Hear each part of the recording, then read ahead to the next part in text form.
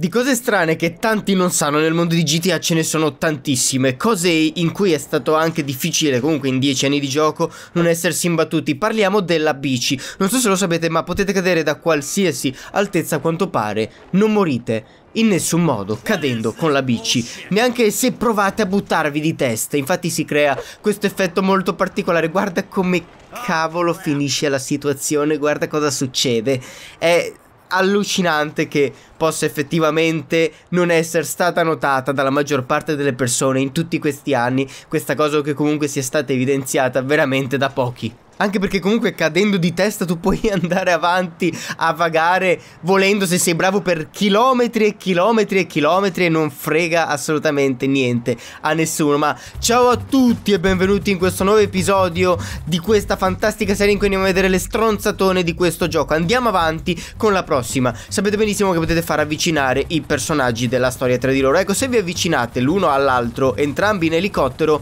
uno dei due fa così, si butta completamente completamente a caso. E in questo caso la cosa ironica è che Trevor è pure sopravvissuto non so come perché ha fatto una caduta che avrebbe ucciso pure una mosca, ma è sopravvissuto. Questo video è offerto da Yaha, una piattaforma che permette di creare esperienze multiplayer 3D interattive. Il bello è che per cominciare non è necessario sapere nulla in fatto di programmazione, modellazione 3D e non è necessario avere altre competenze specifiche. Basta utilizzare tutte le funzioni e gli assets disponibili su Yaha Studio e ce ne sono più di un milione per creare l'esperienza 3D dei vostri sogni. Ma il divertimento non sta solo nella creazione. È possibile infatti condividere la propria esperienza con gli amici in tempo reale. Una delle funzioni che mi ha mandato più fuori di testa è quella che permette di condividere all'interno dell'esperienza virtuale i miei video con gli amici. Si intendo proprio letteralmente, come se fosse un cinema drive-in. Per fare tutto ciò è semplicissimo, basta andare negli assets e trovare web screen tra i modelli. Dopo averlo posizionato nel posto che più preferite, magari avendo anche creato una sorta di ambientazione che possa in qualche modo far intendere che questo sia un cinema, basta inserire il link di un video ed entrando in gioco, ecco il risultato. Ma se non fosse già abbastanza cominciare fin da subito, trovate Ya in live su Twitch molto spesso, oppure trovate le differite o altri tutorial sul loro canale YouTube. In tutti questi video e dirette viene mostrato come utilizzare il programma al meglio. Se volete iniziare fin da subito a creare i giochi o gli eventi virtuali dei vostri sogni, scansionate questo codice QR oppure cliccate sul link che trovate qui sotto. Per quanto riguarda i personaggi della storia, poi c'è un'altra cosa molto interessante. Se voi state per schiantarvi con un aereo e cambiate personaggio, potete sopravvivere, ma no, perché ciò che accade è questo, venite respawnati appena ritornate col personaggio che stava con l'aereo all'ospedale, ma non all'ospedale vicino a dove il personaggio dovrebbe essere morto, come dovrebbe funzionare normalmente il gioco, no, vicino all'ospedale, più vicino che potete trovare col personaggio in cui avete switchato. E altro fatto singolare di cui parlare riguardo il cambio del personaggio, se voi state in volo con un veicolo, nella maggior parte dei casi se non toccate terra prima che si completi il cambio del personaggio, beh quando ritornate sul personaggio che era in volo succede questo, vi rimettete a posto più o meno in volo dritto per dritto e riuscite anche in questo modo ad atterrare anche molto più facilmente. È ironico che nessuno in dieci anni ci abbia mai pensato, perlomeno io non so, non mi, ricordo, non credo di averci pensato. Insomma, se tu vai vicino a un poliziotto con una macchina della polizia e si vede chiaramente, è palese che tu non sia un poliziotto, in realtà non gliene frega niente, non se ne accorgono, va bene, potresti essere in borghese, ma tu puoi metterti a fare il cazzo che ti pare, suonare il clacson, azionare la sirena, qualsiasi cosa, non gliene frega assolutamente niente, ma non azzardarti mai ad avvicinarti di un centimetro in più. A quel punto sei morto.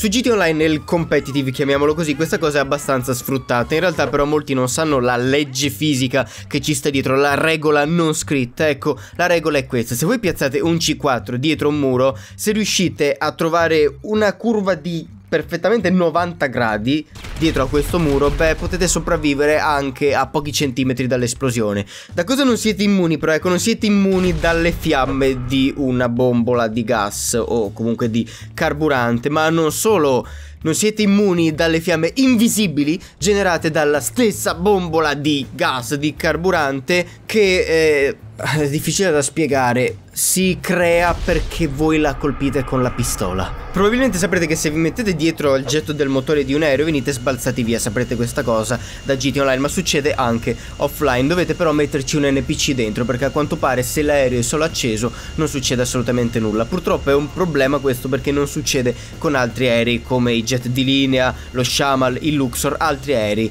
Ma io volevo appunto verificare questa cosa con laser, quindi ho spawnato un NPC L'ho messo dentro al laser e gli ho fatto compiere un viaggio e ho scoperto una cosa incredibile. Se c'è un NPC dentro, l'aereo con l'NPC appunto può decollare a qualsiasi velocità, anche a velocità assurdamente basse. Guardate a che velocità decolla a 10 km orari e il bello è che ho provato anche quindi con altri aerei. Ho spunato l'Alconost, ho spunato un NPC, gli ho dato un percorso da fare, gli ho messo la velocità massima a un chilometro orario. Cosa ha fatto? È riuscito a decollare tranquillamente a un chilometro orario! Guarda, guarda, guarda come è riuscita a decollare. Una roba incredibile che in dieci anni, in dieci anni non avevo mai scoperto. Ed è assurdamente stupida e geniale allo stesso tempo questa cosa. È un test che ho ripetuto svariate volte a qualsiasi velocità un aereo comandato da un NPC riesce a decollare. Ma senza mod, non stiamo parlando di mod,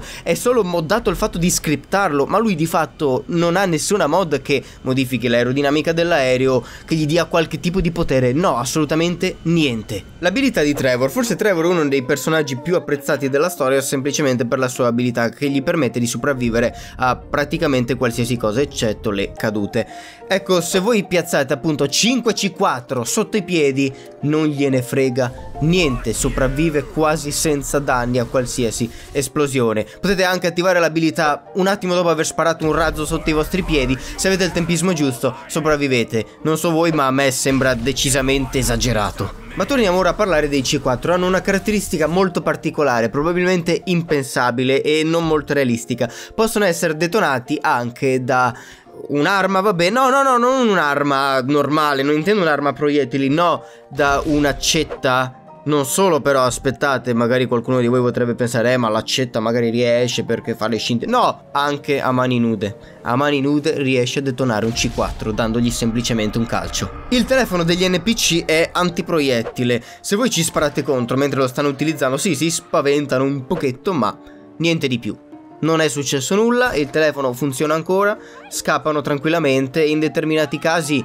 neanche scappano. Ed è molto ironico il fatto che se voi sparate col fucile da cecchino questo succede in generale, però non dovete ovviamente uccidere l'NPC a cui volete sparare, quindi magari colpite, che ne so, il caffè che c'ha in mano per dire anche quello antiproiettile. Ecco, in realtà metà degli NPC intorno si spaventano, l'altra metà ignora completamente. Devo ancora capire comunque, ripetiamolo, dopo 10 anni perché ragdollando contro gli NPC seduti questi muoiono automaticamente perché invece ci siano delle tizie forzutissime, sono delle statue di pietra perché nel momento in cui ci vai addosso, in genere succede con i personaggi femminili, con quelli maschili mi è successo molto meno, non reagiscono quasi per niente, è come se tu non avessi fatto nulla. Potete atterrare sopra l'Atomic Blimp e se vi schiantate addosso con le pale leggermente farà un suono abbastanza strano, particolare per questo tipo di velivolo insomma che dovrebbe appunto essere un dirigibile, no? Non rigido quindi più o meno. Però appunto potete atterrarci sopra, ecco arriviamo al punto della questione, se voi vi allontanate dal velivolo con cui siete arrivati o se arrivate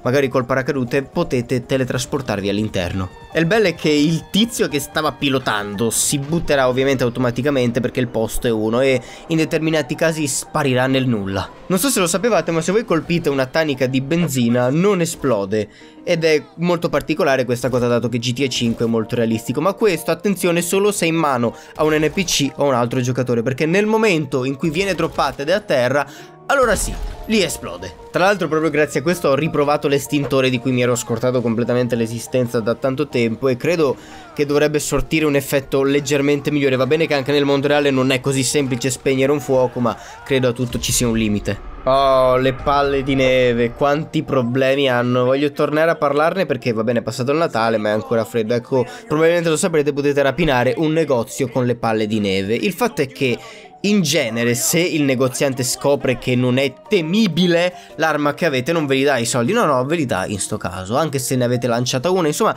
gli fa paura il fatto che voi lanciate palle di neve e ne abbiate ancora. Ma oltre a questo, le palle di neve a quanto pare spaventano anche altri commercianti, come per esempio il cazzutissimo tizio dell'ammunition. Questo qui vi spara in qualsiasi occasione se voi provate a entrare con una pistola, ma con una palla di neve Assolutamente no, si caga in mano e scappa via, ma scappa veramente, inizia a piottare per chilometri e chilometri.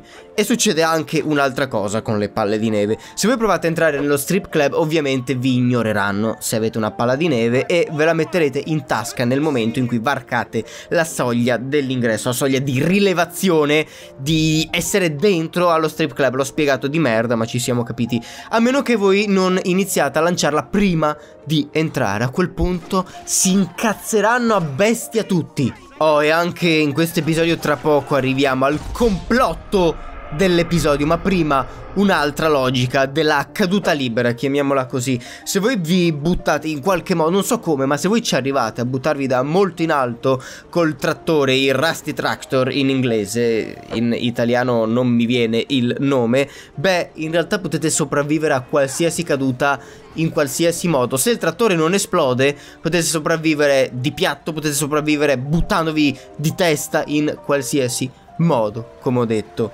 E questo mi ricorda molto ciò di cui abbiamo parlato prima, ossia della bici. Ma arriviamo al complotto di oggi che riguarda sempre casa di Michael. Sappiamo bene che ha la vetrata che sul soffitto non si vede da fuori, insomma è ok. Bene, c'è qualcos'altro di problematico. Oltre al bagno fantasma, tutte le stanze fantasma della casa, c'è una finestra vicino alla cucina che di fatto è solo funzionante da una parte, perché da dentro si vede l'esterno, ma da fuori non si vede l'interno e perdonatemi ma questa finestra non mi sembra né oscurata né così coperta, non mi sembra esserci nulla che impedisca di vedere effettivamente all'interno dall'esterno. Mi prendo un attimo a conclusione per dirvi che è uscita la mia personale guida per iniziare a guadagnare in due soli episodi da 0 a decine di milioni di dollari appunto in pochissimo tempo. La trovate qui sotto potete abbonarvi per vederla. Io vi ringrazio per avermi seguito finora e noi ci rivediamo alla prossima